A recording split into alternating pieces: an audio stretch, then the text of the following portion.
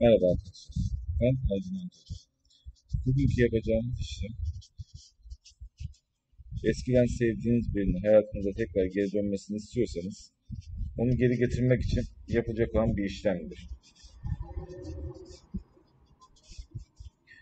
Buraya kendi resminizi, buraya arkadaşınızın resminizi koyuyorsunuz ve daha sonra bu kağıdı lavaboda yakıp küllerini suyla gönderiyorsunuz. 20-25 gün içinde bu yavaş yavaş döneceğini göreceksiniz. Ama daha profesyonel, ayrıntılı bir şey yaptırmak isterseniz bana WhatsApp üzerinden ulaşabilirsiniz. Allah'a emanet olun. Selamünaleyküm arkadaşlar. Ben Ercüment Hoca. Bugünkü yapacağımız işlem bağlama işlemi. Bağlama işlemi sevdiğiniz kişiyle kendinizi bağlamaktır.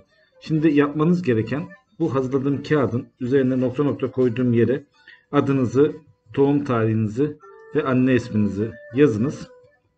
Daha sonra yani bu boşluk olan yerlere ikinizin adını, doğum tarihi, anne isimlerini yazın ve bunu evin yakında bir yere toprağa gömün. 20-25 günlük bir süreçte etkilerini göreceksinizdir.